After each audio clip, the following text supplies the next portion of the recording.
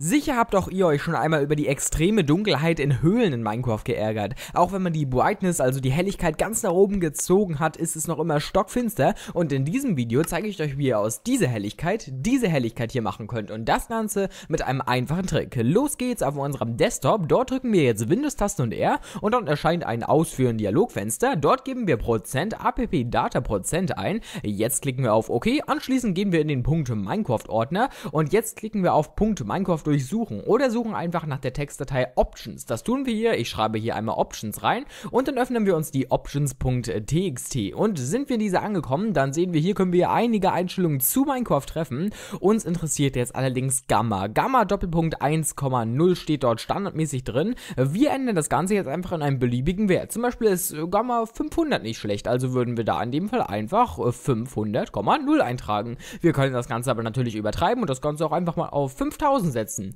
Jetzt schließen wir uns diese Options.txt wieder und nicht vergessen zu speichern. Und wenn wir jetzt Minecraft starten, äh, dann sehen wir, äh, wenn wir in der Welt sind, es ist alles richtig, richtig hell. Auch äh, wenn die Brightness praktisch gar nicht ganz oben ist. Und wenn wir die Brightness jetzt wieder ein Stückchen runterziehen, dann wird es gleich wieder relativ viel dunkler. Ihr solltet die Brightness jetzt also so lassen, wie sie ist. Danke an euch, dass ihr mir diese Lösung in den Kommentaren geschrieben habt. Und ich hoffe, ich konnte euch hiermit helfen. Wenn ihr möchtet, könnt ihr euch auch gerne noch unser Tutorial Tutorial zu den Summon Commands angucken. Die kann man nämlich ganz einfach mit Hilfe einer wunderbaren Website generieren und hat dann keine lange Arbeit mehr, Summon Commands zu schreiben. Oder ihr installiert euch den Shader mit Optifine. Das Tutorial dazu findet ihr rechts unten verlinkt, denn das äh, wertet Minecraft grafisch wirklich nochmal auf. Wenn ihr möchtet, dann habt ihr natürlich auch die Möglichkeit, uns auf Minus 07 Plus unserem neuen Zweitkanal zu besuchen oder auch unsere Social Media Seite, also Twitter, Facebook, Google Plus, Instagram und natürlich unsere Website minus07.de stehen euch zur Verfügung.